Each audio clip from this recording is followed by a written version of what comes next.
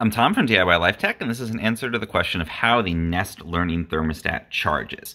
And the answer is that it actually does not have to charge under most circumstances. Um, the thermostat is actually powered by the wires from your um, HVAC system. And it'll actually get power through that. Um, and it does actually have a battery in it, but um, it don't need to recharge that battery, you know, continuously under normal operations. It's just going to get its power directly from the wiring for your HVAC system. So don't need to worry about, you know, popping this off the wall and charging it up or anything like you would maybe have to do with certain um, video doorbells and that kind of thing.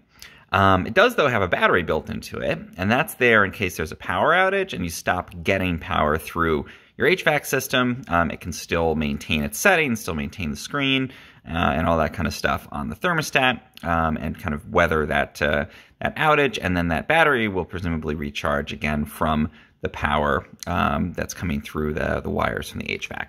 There's uh, some people have a theory too that sometimes those wires don't supply quite enough power, it might fluctuate, and uh, that battery's there to kind of smooth out those fluctuations. I'm not sure if that's the case, but um, the upshot is you don't need to charge this. The Nest thermostat uh, will power itself, and it'll even with its internal battery power itself during a power outage for um, for quite some time before it runs out.